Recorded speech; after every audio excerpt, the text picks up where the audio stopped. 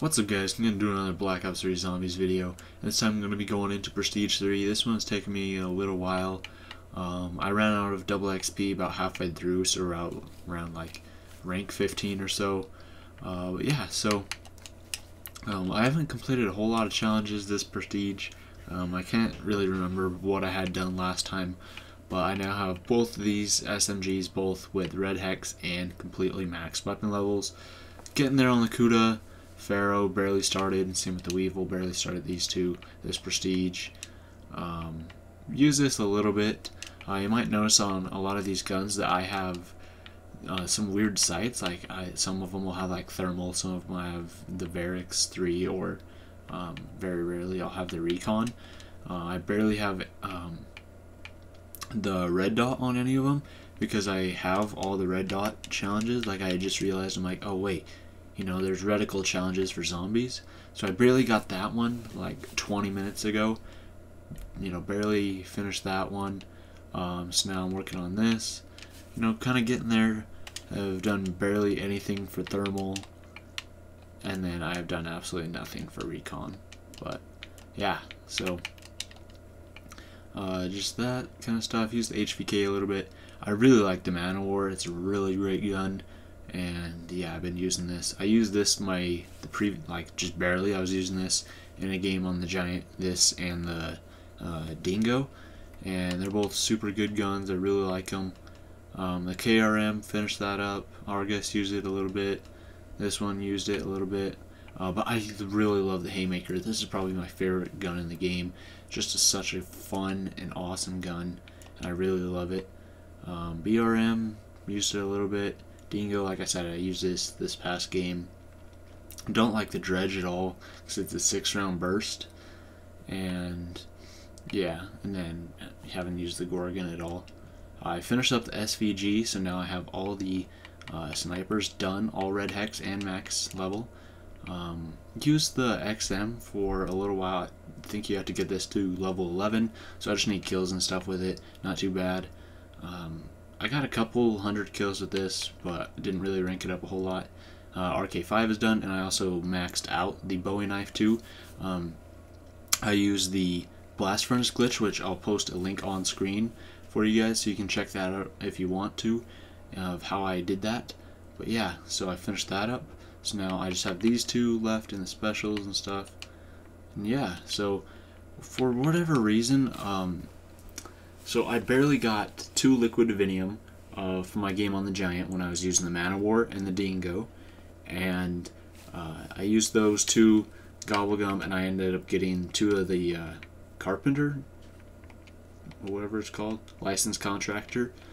Um, but the game before that, I, well, yeah. So I go into Dr. Monty's factory, I have three liquid divinium, and I buy it. I go over here, boom, and I buy it and it just keeps spinning. It was so weird and so stupid. I've had it happen like three times now where I've missed out on at least like nine or ten liquid divinium, and like it's just so stupid because the machine just keeps spinning and spinning and spinning and spinning and spinning, and then uh, they close, and then my uh, the little liquid divinium counter just goes down to zero, and it's not like it just like automatically gave me the gobble gum. It just it doesn't give me any gobble gum, and the stupid things just keep spinning, and it just sucks up my liquid divinium. It doesn't give me anything. So I'm like, okay, well, thanks, you know. Um, I, I hate this thing. I have 13 of them, and then 8 of these. Like, the, I swear, these have to be like, you have like a 1 in 3 chance of getting these, and all these are like 0.02. Like, oh yeah. And I was playing last night co-op with a friend on the Giant, and I had two liquid divinium, so I go ahead and buy the two vial one, and I get, you know, I probably got like, you know, a respin cycle and aftertaste. And the third thing was a perkaholic. So I was like, really? You know, if I just had one more liquid divinium, I could have gotten a perkaholic. And I've never seen a perkaholic in the spin before. That was the very first time it has shown up. And of course, I didn't get it at all. But I've used up all of my, you know, random things. I just barely got these. Um, I'm saving the max ammo in the perk bottle for uh, when I play on Der Eisendrache, and also like the Unquenchable too. I wanted to get Perkaholics and stuff and save those up, so when I very first like play on the uh, Horizon Drak for the very first time, I can easily just go, bam, you know, use my Gobblegum, and then pow, I'm set. I have every perk, and then you know that's the best way to explore the map, so you don't have to like worry about going down and getting perks and crap because you know you have all the perks and stuff. Um, but yeah, so burnt out. Holy crap! I haven't gotten this forever. Um, I have no clue how or why. Uh, I got this recently, or I got two of them. Uh, just the challenges. Oh man, they just take forever. And then yeah, oh yeah, and the wall power. I, jeez, I freaking, I still have eleven of these to go before I finish the challenge, and it's a rare mega, so I have to get eleven gobblegums to finish this one challenge. Um, there is like glitches and stuff, so if you're playing like hardwired into your modem, you can unplug your Ethernet after you use. So you pop in a gobblegum, you know, you use the gobblegum, you do your thing, and then you uh, you end the round, and then you unplug your uh, Ethernet. So it disconnects you from the server, but the server's like um, update and stuff every round, so it syncs your data, syncs all your progress and your account info and everything every round. So it counts that challenge as you know progress towards the challenge. But since you unplugged it, it you know you get to keep your gobblegum. So say if I you know did that with my two carpenters, and it would count for the challenge as two carpenters, but then you know I would still have another two. So it's a, pretty much a way you can like glitch the system and get infinite you know gobblegums and stuff. You want to complete the challenges, but I'm 80% of the way, and they're pretty much all gobblegum now. Um, I have to play Shadows of Evil for this one. It's the only way, and you can only get two, you know, buildables in one game and uh, it just sucks because you can only get two per game, and that's if you find all the shield parts and you build, you know, the wonder weapon. And so it's like, well, I'm pretty sure this challenge goes up to like 20 or maybe even 30. So that's what, like either, you know, 10 or 10 or 15 games of playing Shadows of Evil and building both of them. it doesn't seem like a whole lot, but you know, it just, uh, I prefer the Giant so much more. Um, I have everything done for this, which is awesome. Had to spawn power-ups, which is uh, taking me forever. I this challenge just takes so long. Um, this one isn't bad. Oh my gosh, I freaking see. This is probably one of the worst challenges, is because you have to get wall power so many times to do it, and it's only a one activation thing. It's not like you know with the carpenter where you can activate it like two or three times or whatever or the burned out where you can activate it twice and with the burned out at least you know you can get a full train of like 24 zombies and then use one burned out boom get 24 kills towards your challenge and then you know use your second burned out on another 24 zombies boom you know there's like 48 zombies towards your challenge which is great and that knocks off a huge you know portion of it whereas this you know you can only do it one at a time um, and with this one i just it I just have to play public matches. It's all it is. It's like I just need to play a public match, and since everybody who plays public matches pretty much sucks, um, you know they'll easily all just get downed, and you know when all four or all three of them, I guess, are all down at the same time, I'll just boop, you know, use my phoenix up, and then boom, they all get you know up. Um, I still have a couple of them. Uh, I have not done the Shadows of Evil Easter egg yet. But yeah, so I only have what six challenges left in zombies, so it's pretty nice. Um, I'm actually go back in there, show you show you this. Uh, 1,541 rounds survived. Average rounds 11. 35,000 or yeah, 35,878 kills. Score per minute just keeps going down and down and down and down and down. The challenge that stat is just whack, and it's just absolutely stupid. Um, I man, I've just been you know getting Bowie knife kills and stuff, trying to get that gun to the max level, and yeah, so um, I haven't really bought it off the wall and just got like straight up kills with it recently. It's all been just using the blast furnace glitch, but yeah, I wonder if they're I don't know if they're gonna fix that or not or what, because they you know you, did rank it up you know from the get go when the game first came out just by getting you know normal knife kills but then they patched it so it reset everybody's stats down to like zero um, and no longer like normal kills won't count. So I wonder if they're gonna do that again and reset everybody's you know thing down to zero again, and then you know patch the blast furnace glitch. I hope they don't, because uh, it's just gonna freaking drive me crazy if there's just one weapon that has zero out of one on there and you cannot rank it up at all. That's just gonna drive me crazy. I like to see max on everything, and then have you know the red hex on everything. So, uh, yeah, I haven't really used a whole lot of the gobblegums in this prestige, basically because you know I haven't gotten any of the you know mega gobblegums that I need for challenges. So, uh, the only ones I have on really are the uh, just the normal ones.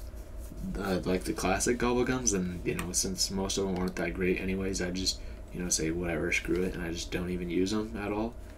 But yeah, and then we have all the rest of these that I have never. My friend has gotten like at least seven or eight of these, uh, and I haven't gotten a single one. Uh, yeah, and then just the rest of these Perkaholic, Phoenix Up, all the rest of these. Uh, 35 is my highest on the Giant, 26 on Shadows of Evil. I just barely got that. The highest was 26. I barely got that today. And yeah. Leaderboards. Um, you know, just killing zombies and stuff, doing my thing. 69,000 in the world. Pretty good. Uh, you know, how many bullets I've used. 116,000. Um, basically, because I use like shotguns and snipers and stuff, is basically what I've been using recently a whole lot. So, uh, whereas you know I would normally use like an LMG or something, so I don't fire like a whole lot of bullets. Plus, I get a lot of collaterals because I'm sitting up on the catwalk on the giant. Um, shots on target, two hundred twelve thousand. So I have what like a two hundred percent accuracy or something like that. So I'm in you know top fifty three thousand. Headshots seven thousand three hundred thirty-seven. Explosive kills, eh. Revives I pretty much only play solo, so it's just like quick revive, reviving me again and stuff. Um, 473, 435, I don't know where I got 73, 435 traveled miles, 762 doors, and 523 perks drink. Um, the giant, highest round solo is 35, I'm gonna do two player and see this. See, that's not accurate at all because I play, you know, private match and stuff with my uh, homie Harry or Shelled Puddle all the time. We've gotten way, way, way, way past 29. Like we've gotten to like 32 and stuff. So I don't know what is why it's doing that or what it's tripping about or stuff. And then I haven't played three or four player. Um, Shadows of Evil. I did play at four player. I don't recall doing that. I was just, you know level seven, but okay. Uh, three player, two, and one. 26. Alright. And then I did play some Dead Ops Arcade 2 a little while ago. Um, yeah. So, ranking up a little bit in here. Haven't defeated the Silverback yet. And yeah, so there you guys go. Um, that's pretty much that. Uh, I showed you guys well I'll just show you all through this again yeah um, I'm just basically trying to like it honestly isn't too bad like you can easily finish zombies and, you know like maybe you know only a little while if you really try but yeah so it's not that you know bad to you know rank up all the guns and get them to the max level and get all the red hex camo and stuff. And even the challenges aren't that difficult in zombies so I hope that they add in new ones and or you know new challenges and new gun well I don't think they're gonna add in new guns but new challenges new camos and stuff. Just basically new stuff that you can rank up and do stuff with and you know just have a good time with. Um I think I might go with the Man-O-War yeah I think it, oh, it's just a really great gun I really love it um, like I have the Bowie knife and the RK5 I've already done. I have all the snipers. Um, I already permanent unlock that. And then, I don't know, like the Weevil, I don't know, maybe. Oh yeah, I think I'll go for the Man-O-War.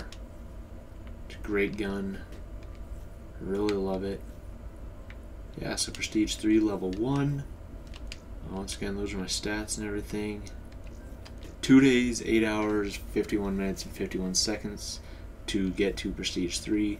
Uh, not too bad. Putting a lot more time in zombies in this game so far than I have in uh, multiplayer, that's for sure. Um, and then also reset all my gobblegums and stuff. But yeah, there you guys go. Uh, tell me what ranks and everything you guys are in in zombies in the comments down below, and just how you're feeling about zombies. I'm super pumped for the new DLC. And yeah, thanks for watching. I'll see you in the next Black Ops 3 Zombies video.